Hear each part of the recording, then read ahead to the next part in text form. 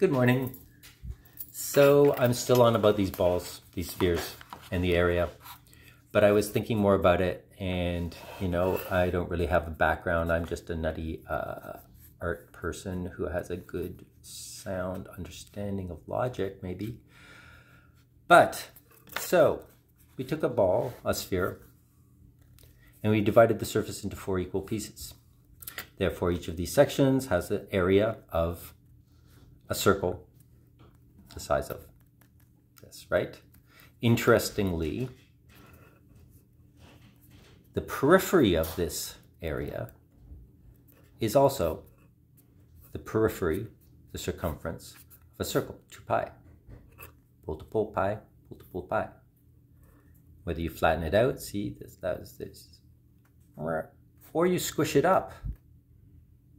See, if it was flat, it's like that you fold it 90 degrees and you still have the same area because it's on a sphere. Right, which is interesting. And then I was thinking more about this and I was like, wait, but it would be so easy to just put like a, like make this a zigzag line and then the line would be way longer. And is it only if it's straight lines? Well, what exactly is a straight line? A straight line, is it straight between what length of points? So I was thinking more about this, and I came to the conclusion that the rule must be, or seems to be, as long as all the angles are 90 degrees or more obtuse than 90 degrees, flat, which is quite obtuse. I was making a joke first graph that like, you know, you don't want to hang out with straight lines because they're so obtuse. And you want to hang out with pointed things because they're very cute and they'll have a lot of insight. Uh, so yeah, so as long as the angles are 90 degrees or obtuse to 90 degrees, then if you draw a shape that has the periphery of a circle, 2 pi, the area contained in that zone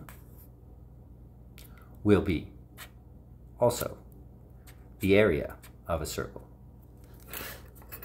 Here's the Gombaki version, where each of these each of these sections, where did I mark it, is two thirds of pi. And it goes from there, but it stops.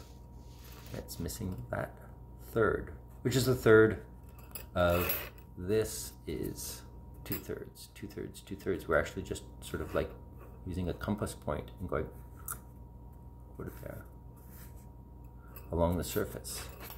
So this is the form of a equal diameter. Those funny shapes. And again, each of these angles is more than 90 degrees, 120 degrees in fact.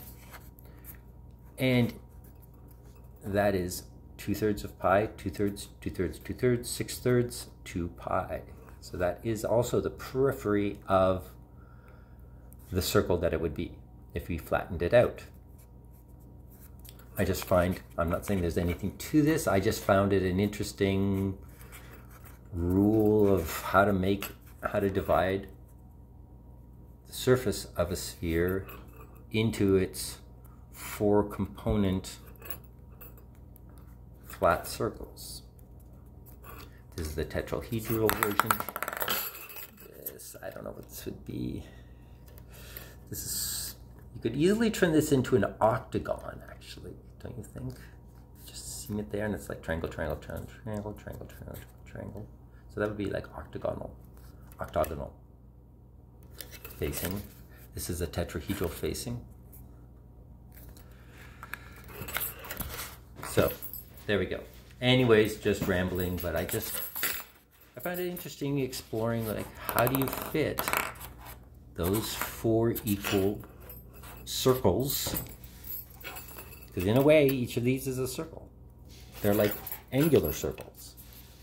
The circles that I squished, but because I applied them to a sphere, they retain the area that they had before they were squished as circles. I just found that interesting. Anyways, peace.